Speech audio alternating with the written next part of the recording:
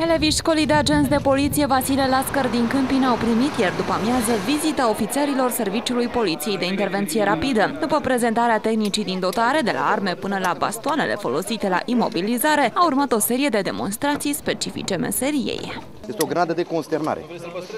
Deci focosul funcționează pe același principiu ca orice granadă normală, da? Siguranța, în momentul când este armat, ai tras siguranța, poți să stai o săptămână dacă vrei. E, în momentul când ai luat după siguranță, în 4-5 secunde maxim explodează.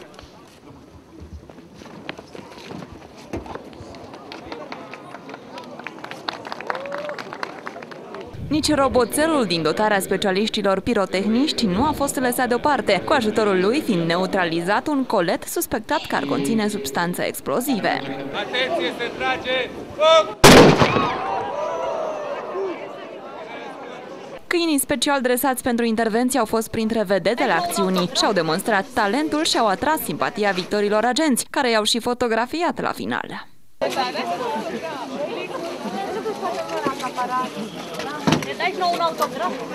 Astfel de evenimente au loc periodic la școala de agenți de poliție de la Câmpina.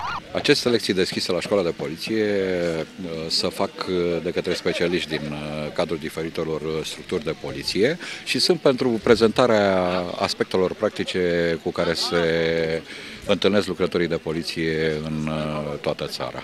La finalul acțiunii, polițiștii au transmis un sfat și cetățenilor. În condițiile în care o geantă, un geamantan, un sac sau altceva este suspect din uh, punct de vedere al așezării, al zonei în care se găsește, al faptului că nimeni nu revendică acest uh, obiect, uh, nu trebuie să facem pe eroi pentru că nu știm despre ce este vorba. Cel mai corect este să anunțăm prin 112 prezența unui acestui obiect